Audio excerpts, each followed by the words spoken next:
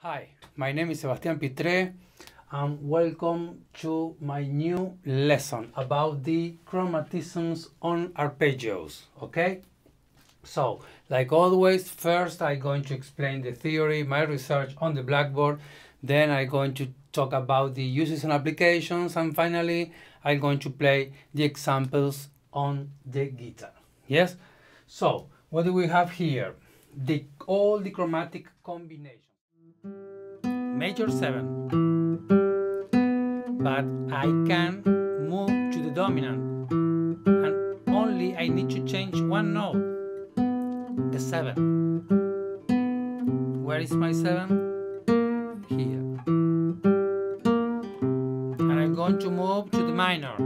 Third. Root flat third 5 flat 7